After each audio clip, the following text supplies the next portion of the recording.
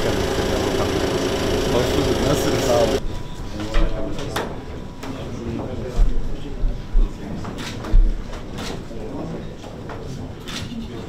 Sayın. Saygılar sunarım. Merhaba Sayın Başkanım. Nasılsınız? Teşekkür ederim.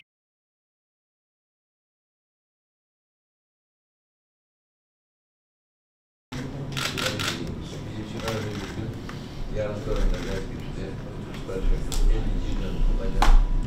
Bu hep şimdi Türkiye için tarihi bir müdahaleydi. Sabahleyin de BBC bağlandı. Bir takım şeyler böyle kalınca cevabını verdim. Çünkü gerçekten Rum ve Yunan ikisi hala daha Kıbrıs meselesi çok farklı bir biçimde dünyaya anlatmaya çalışıyor. Türkiye Cumhuriyeti'nin işte buraya gelip burayı işgal ettiğini ve de kendisine esas işgalci Yunanistan olduğunu 21 Aralık 1960'te Kıbrıs Cumhuriyeti'nin kurulmasından çok kısa bir süre sonra adayı Yunanistan'a bağlamak için buranın sadece bir sıçrama tahtası olduğunu, yeni pozisyonda Kıbrıs Cumhuriyeti'ni yaşatmak diye bir zihniyetlerin olmadığını, Kıbrıs'ı Yunanistan'a bağlamak için kanlılarla Kıbrıs yaptıkları saldırılar ve 20 bin sivil insanın esasında Yunan ordusunun mensupları olarak gayrimeşru bir şekilde Kıbrıs'a getirilmeleri, Kıbrıs Türk halkını katledilmeleri ondan sonraki süreçte bildiğiniz gibi Türkiye Cumhuriyeti'nin 1960 garantörü kapısında ilk önce Cengiz Topeller'le havadan müdahalesi, Rum ve Yunanlıları püskürtmeleri ve ondan sonraki süreçte 1964 Erenköy mücadelesinde 10 yıl sonra 1974'te Allah nasip etti Türkiye müdahalesini yaptı ama 15 Temmuz 1974 bu çok önemli bir tarih. 15 Temmuz 1974 benim değerlendirmem ikinci darbeyi yapan yine Yunanistan'dır. 21 Aralık 1963 Kanlıdere, 15 Temmuz 1974 Yunanistan'daki junta ve buradaki işbirlikçileri yavaş yavaş enerjisi gerçekleştirmek isteyen Makaryos'a ve tahammülleri olmadan Makaryos'a darbe yapmak suretiyle burada o akşam delikanlı terörist Samsun ikinci Helen Cumhuriyeti ilan etmiştir. Ve 15 Temmuz'dan 20 Temmuz'a kadar o 5 günde Kıbrıs Türkiye adeta tekrar doğmuş, tekrar ölmüş, tekrar doğmuş. Çünkü gelecekler mi gelmeyecekler mi? 1963'te, 1964'te, 1967'de saldırılar ve katliamlar sürerken meşhur Johnson meçhulu, Amerikan Cumhurbaşkanı'nın o zaman Başkan İsmet sakın ola müdahale etmeyiniz. Çünkü müdahale ederseniz sizi Rusya'ya karşı savunmasız bırakacağız. NATO'ya ters düşmeyiz, yerinizde kalınız şeklinde uyarısından sonra o mektubu okudum. Allah rahmet eylesin İsmet İnönü'nün muhteşem bir mektubu var geri. Diyor ki biz Kıbrıs'taki soydaşlarımızın katliamına ileride seyirci kalamayız. Yani bu katliamlar devam etse mutlak surette müdahalemizi yapacağız. Ve Türkiye'de hazırlıkları devam eder. Ama tabii ki Yunanistan da durmaz. Yunanistan beş parmaklarda o yıllarda cephaneleriyle, roketleriyle, her türlü silah ve duymatıyla beş parmaklarda muhtemel bir Türk çıkartmasına karşı acayip silahlanır. Acayip mevzilenir. Ve tabii 15 Temmuz 1974 söylediğim gibi buradaki darbeden sonra Türkiye Cumhuriyeti gereğini yapar. Sayın Bülent Ecevit, Allah rahmet eylesin, Başbakan İngiltere'ye gidip garantör, diğer garantör ve İngiltere'ye danışır. James Canan var, onun başbakan. Danışır. İngiltere'de biz bu işe bulaşmayacağız. Zaten 1960'ta da İngiltere burada iki egemen üstlerinden Kıbrıs katliamını sadece seyretmiyor. Bulaşmadılar. Onların da tabii ki kendilerine göre Kıbrıs Cumhuriyeti kurulurken esas hedefleri burayı kontrol edebilmek için, Orta Doğu'da etkinlikleri sürdürmek için çok akıllıca kendilerine göre iki egemen üs almışlar ve çekilmişler two foreign bases. Hem Akrodur'da hem Dikeli'de, Harada buraları kullanılıyor. Ve bunun da tabii başka olumsuzlar vardı. O netice itibariyle o beş günde istişareden sonra Türkiye Cumhuriyeti işte o harekatı gerçekleştirme kararı ve 20 Temmuz bir cumartesi sabahında Mehmetçikler buraya çıkartmasını yapar. Hem denizden hem havadan hem karadan ve bizlerin mücahitleriyle kucaklaşırlar. Halkımızda bu hasretin giderilmesi ve gözyaşlarının dökülmesi harada hafızlarımızdadır. Onun için biz Kıbrıs Türkleri olarak 20 Temmuz 1974 Kıbrıs Harekatını bizim tekrar doğduğumuz, bağımsızlığımıza ve özgürlüğümüze ve küllerimizden tekrar hayata döndüğümüz gün olarak şöyle biliyoruz. Dolayısıyla sizlerin ziyaretiyle bir kez daha bu coşkulu birlikte kutlamanın mutlu içerisindeyim. Yarın sabah törenlerde tabii ki orada büyük bir coşkuyla kutlayacağız. Ve tabii bu vesileyle bir kez daha Doktor Fazıl Küçüğü, Rauf Denktaş'ı tabii ki Türk deve adamları böyle sıralarında Adnan Menderes, Fatih Üstoğlu unutma mümkün değil. Çünkü bu tarihi bilen bir kişi olarak hep o anlaşmalarda onların ağırlığıyla Türk Kıbrıs, Kıbrıs Cumhuriyeti kuruluşunda eee Kıbrıs Türk tarafı eşit kurucu ortak oluyor. Ve daha da önemlisi Türkiye Cumhuriyeti garanti ülke ve tek taraflı müdahale hakkıyla. İşte o tek taraflı müdahale hakkı büyük bir başarı. Çünkü bütün garanti ülkeler İngiltere, Yunanistan, Türkiye beraber karar verecek olsalardı harekat hiçbir zaman gerçekleşmez. Zaten İngiltere reddetmişti. Tek taraflı müdahale hakkıyla Türkiye Cumhuriyeti müdahalesini yapıyor ve dolayısıyla Kıbrıs Barış büyük bir başarıya sona erdi. Diğer devlet alanlarımız unutmamak gerekiyor. Devlette Bülent Ecevit'tir, başbakandır, talimatı vermiştir. Diğeri yardımcısı Neşmettin Erbakan'dır. Ve tarih okuduğumuzda yine bu süreçte bu kritik zamanlarda Süleyman Demirel ve İsmet İnönü'de unutmamak gerekiyor. Hepsinin dahil olmuştur. Hepsinin mücadelesi olmuştur. Ve dolayısıyla şahsı, şahıslarına tüm Türkiye, Türk halkına bir kez daha böylesi önemli gününde minnet ve şükran duygularımı ifade etmek istiyorum. Şimdi günümüze geldiğimizde ben Cumhurbaşkanı seçildim. Tabii ki nasıl seçildim? Çünkü ondan evvelki süreçte burada yaşananları çok iyi biliyorsunuz. Bir kere federal temelde bir anlaşma için Rauf Bayit Demirtaş kurucu Cumhurbaşkanımız yıllarca müzakere masalarında omuz çürütmüş, çok büyük fedakarlıklar yapmış, büyük sabırla ve büyük gerçekten necdetleriyle orada hakkımızı hukukumuz korumuş ama hiçbir zaman bir anlaşmaya ulaşması mümkün olmamıştır. Çünkü bize vasiyeti, bize söyledikleri Kıbrıs Rumlar hiçbir zaman kapıyı en üstte kapatmayacaklar yönünde. Herhangi bir anlaşma durumunda yine ileride buranın tamamıyla bir henelası olması için şartları ör veya geç zorlayacaklardır. Çünkü yeminleri vardır, kirse vardır. Burası kendilerine göre bir henelasıdır ve mutlaka bu milli yeminlerin yerine getirmeleri için bunu er veya geç deneyecekler şeklinde böyle bir tehlikeyle karşı karşıya olduğumuzu hep bize söylemiştir ve bunu vasiyet olarak bırakmıştır. Ve e, ölüm yatağında kendisini ziyaret ettiğinde Tatar demiştir. Egemenliğimiz ve devletimizden asla vazgeçmeyeceksiniz. İnşallah o da olacak demiştir. Ve yıllar sonra yaşanan süreçlerden sonra Ömerli tarafların gelmesiyle gitmesi, onların yaptıkları bir takım deneyimler ve e, neticeleri. Mustafa Akıcı'nın e, bir evvelki Cumhurbaşkanı olarak e, müzakere masalarında yaptıkları, ettikleri ve Kanal Kanada anlam planından sonra yine çöküş ve karşı tarafın özellikle Avrupa Birliği arkasına alarak bundan sonraki süreçte asla taviz vermeyeceklerini ve Kıbrıs Türklerin federal çatı alanında eşitlik dedikleri süreçte esasında çoğunluğun azınlığı yöneteceği, istediğiniz kadar anayasal düzen kurunuz, çoğunluğun azınlığı yöneteceği ve açıkça net söyleyebiliyorum, bütün müzakere topluluğum, federasyon görüşmelerinin açış konuşmaları sıfır asker sıfır garanti. Bunu istediği kimse gelsin konuşalım. Sıfır asker sıfır garanti. Şimdi federal yapıda Kuzey ve Güney Avrupa Birliği girecek birlikte. Avrupa Birliği'nde olduğu için Türkiye Avrupa Birliği'nde olmadığı için Türkiye'ye yer yok ve Türkiye modası geçtiği için garantörlüğünden vazgeçecek. Şimdi Türkiye'nin garantörlüğü ta 1571'den beri bu topraklara verilen mücadele, uluslararası anlaşmalar, Lozan Anlaşması, bunun Kıbrıs Kuruluş Anlaşması'na kadar hepsi bunlar Türkiye Büyük Millet Meclisi'ne bu onayı vermiş ve Türkiye buranın garantörü. Dolayısıyla kimsenin bana göre Türkiye garantöründen vazgeçti diye söyleyecek bir şey hakkı yoktur. Bu Türkiye'nin kararıdır. Ve herhangi bir anlaşma da mutlak surette Türkiye'nin onayıyla olacaktır. O bakımdan sıfır asker, sıfır garanti çok tehlikeli bir söylemdir. Türkiye'nin buradan çekilmesi, garantörün son olması, Kıbrıs Türk'ünün son olması anlamındadır. Dolayısıyla bütün bunlar denendiği için, bütün bunların üzerinden yıllar geçtiği için biz de artık yeni bir yola gidiyoruz.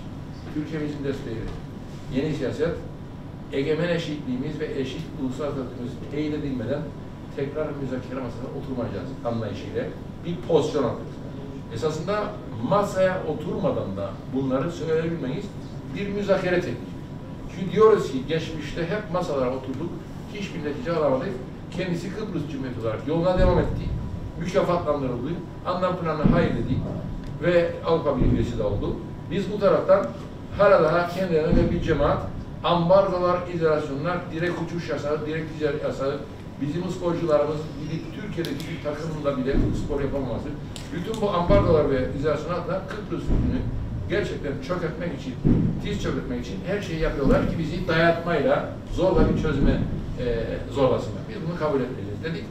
ve egemenliğimiz tanınmadan masaya oturmayacağımızı söyledik. Şimdi onu bekliyoruz. Egemenlik çok şeyler söyleriz. Bir, direkt uçuş, direkt ticaret, e, spor ambargosunun kalkması gibi bir takım açılımlarla ancak tekrar bir müzakere vasfı kurulacak. Ama çıt yok. Bayan Holgin, sekreter, kişisel temsil gelmiş, denemiş. Bir müzakere süreci için ortak zemin var mı yok mu araç içerisinde. Bir şey yok. Şimdi karşı taraf hiçbir şey vermeden tekrar eski noktaya çekmek ister. Eski noktada alacağımız bir şey yok. Dolayısıyla bunun tekrarının bize bir şey kazandıracağı olmadığı düşüncesi içerisinde iki devlet bir çözümde her iki tarafın da yararlı olabilecek bir takım ciddi iş birlikleri yapılabileceği düşüncesi içerisindeyiz. Çünkü Kıbrıs'ın kuzeyindeki Türk devleti o odada 1963 yılında kurulmuş. Daha sonra federe devlet, daha sonra otonom devlet.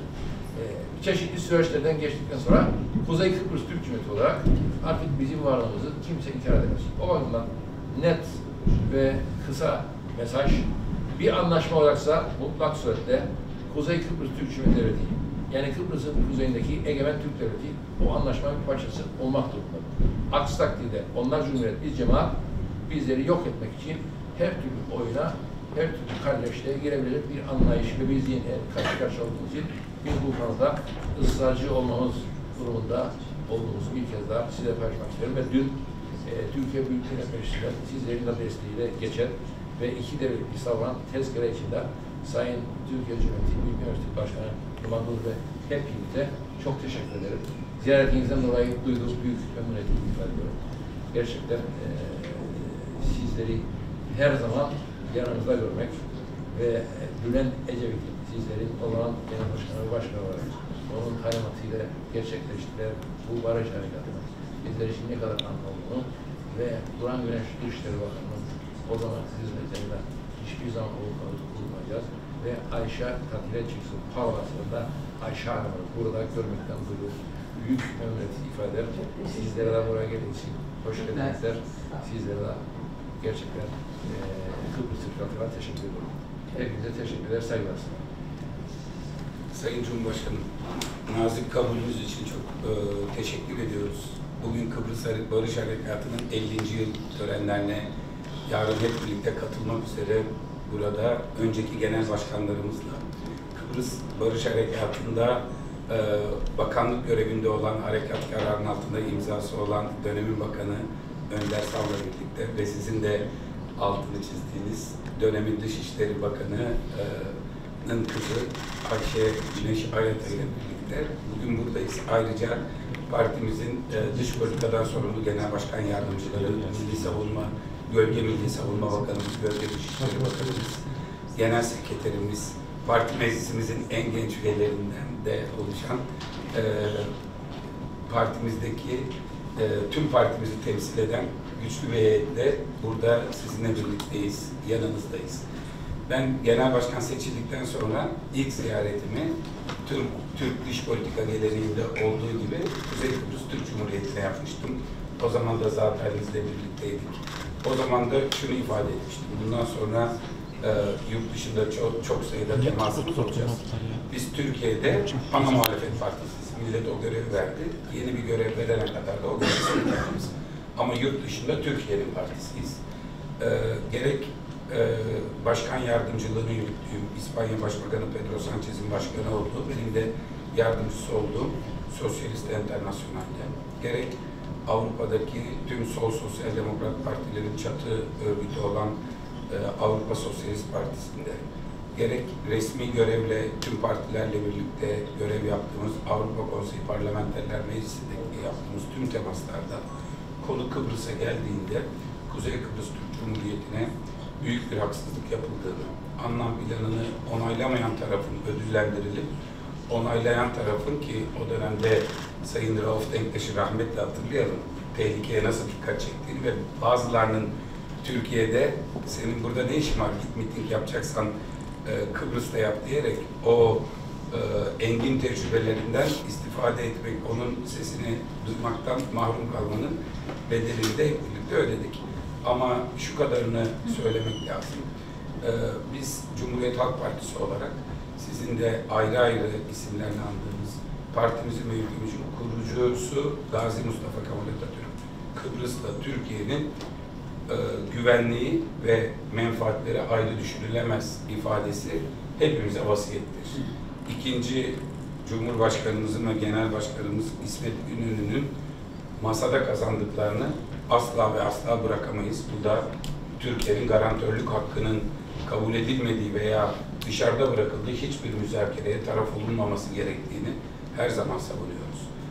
Yurt dışında kararlılıkla ifade ettiğim bir şey söyleyeyim. Türk askeri adaya savaşa değil barışa gitmiştir. Bu Türkiye'ye ve dünyaya harekatın duyurulduğu ilk cümle budur. Ve gerçekten de adaya biz barış getirdik. Türkiye'yi işgalci diyenlere harekatın siyasi hedeflerine ulaşıldığı anda askeri hedeflerin eee tamamlandığını ve bizim adanın tamamını değil, yüzde 33'ünü, 36'sını e, o gün yüzde yüzünü ele geçirmek ve Türkiye'ye ilhak etmek imkanımız varken bunu yapmadığımızı herkes anlatıyoruz ve diyoruz ki Türkiye işgalci olsaydı bütün adayı işgal eder. Türkiye adaya, adadaki varlığını e, korumak, adadaki soydaşlarını korumak, adadaki Türk varlığını korumak ve yüzyıllardır kazanılmış bir egemenlik hakkını teyit için oraya gitti ve fazlasını yapmadı. Ne eksik yaptı ne fazla yaptı. Ee, ve bundan sonra da bu çizgiyi korumaya devam edeceğiz. Elbette barışı savunuyoruz, çözümü savunuyoruz. Bugün Kıbrıs Türklerin elbette sorunları var. Sporcularımızın sorunları var. Ticaret hayatı içinde olanların sorunları var. Üniversitelerimiz zorluklar yaşıyor ve bu zorlukların hepsinin aşılması için en güçlü şekilde Kıbrıs'ın, Kuzey Kıbrıs Türk Cumhuriyeti'nin arkasında durma zaruretimiz var. Ee, sizin ortaya koyduğunuz doğrudan ticaret, doğrudan uçuş, bunların sağlanması son derece önemli. Bugün e, Kıbrıs'ta kimle temas etsek, belki farklı çözüm önerileri de olsa, e, bir ortak noktada, yani eğer yeniden bir anlaşma olmayacaksa da mutlaka Kıbrıs'ın e, Kuzey Kıbrıs Türk Cumhuriyeti'nin kazanımlarının teyit edildiği ve baştan söylendiği bir noktadan harekete geçilmesi gerektiğini hem sizden hem daha önce biraz önce e, ziyaret ettiğimiz Sayın Erol'dan, sabah görüştüğümüz Sayın Erol'dan da duyduk. Elbette Kıbrıs'ın e, iç politikasındaki farklı düşünceler, dış politikaya yönelik farklı düşünceler olabilir. Biz Kıbrıs'ı bir bütün olarak sahipleniyoruz. Dün Türkiye Büyük Millet Meclisi'nin bütün dünyaya verdiği kuvvetli mesajın Kıbrıs'ta da iktidarıyla, muhalefetiyle hep birlikte verilmesinin son derece önemli olduğunu düşünüyoruz. Bugün ayrılıkları değil, birliktelikleri konuşmanın, fikir ayrılıklarının değil, e, Kuzey Kıbrıs Türk Cumhuriyeti ve Türkiye'nin ortak menfaatleri için bir ve birlikte olabilmenin zamanıdır. Bunun için buradayız, hep birlikteyiz. E, bundan sonraki süreçte de Cumhuriyet Halk Partisi Türkiye Cumhuriyeti Devleti'nin Avrupa Birliği'nin tam üyelik başvurusunu İsmet Paşa zamanında yaptık. Bu hedefin sonuna kadar arkasındayız. Ee, mutlaka takip ettiniz. Bükreş'te yapılan Sosyalist Enternasyonel toplantısının sonuç bildirgesinde üye ülkelerin tamamı e, Türkiye Cumhuriyeti'nin Avrupa Birliği'ne tam üye olması noktasında CHP'nin kararlılığını desteklediklerini söylediler. Bu süreç Türkiye'nin Avrupa Birliği'nde olması Yunanistan'la Türkiye arasındaki e, Avrupa nezdindeki asimetriyi aşabilecek güç olarak biz bu mesele çözülürken Kuzey Kıbrıs'la ilgili en ufak bir taviz vermek yerine Kıbrıs'ın sorunlarının aşılması, yapılan haksızlıkların aşılması gerektiğini savunuyoruz. Ee, bu konuda geçen ziyaretimde de e, fikir birliği içinde olduğumuzu ifade etmiştik. Ee, Kıbrıs, Güney Kıbrıs Rum kesiminin tek başına Avrupa Birliği'ne dahil edilmesi bizlere büyük bir haksızlıktır. Bu haksızlığın telafisi noktasında da e, hem diplomatik alanda hem de fırsat bulduğumuz her kürsüde e, bunu dile getirmeye devam ediyoruz. 50 yıl önceki dostlukla, 50 yıl önceki kardeşlikle, 50 yıl önceki kararlılıkla sizin şahsınızda Kuzey Kıbrıs Türk Cumhuriyeti'ndeki tüm vatandaşlarımızı saygıyla selamlıyoruz. Çok teşekkür ederim. Çok sağ olun.